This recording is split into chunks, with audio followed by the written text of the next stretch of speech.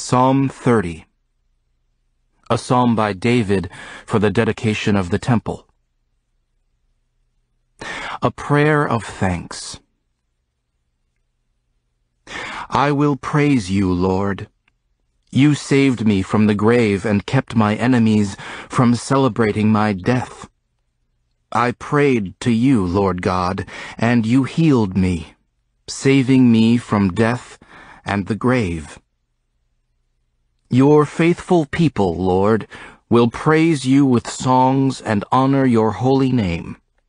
Your anger lasts a little while, but your kindness lasts for a lifetime.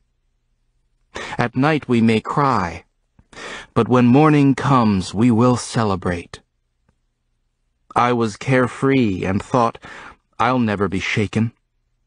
You, Lord, were my friend and you made me strong as a mighty mountain. But when you hid your face, I was crushed. I prayed to you, Lord, and in my prayers I said, What good will it do you if I am in the grave? Once I have turned to dust, how can I praise you, or tell how loyal you are? Have pity, Lord, help.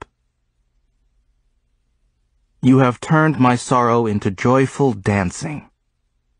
No longer am I sad and wearing sackcloth. I thank you from my heart, and I will never stop singing your praises, my Lord and my God.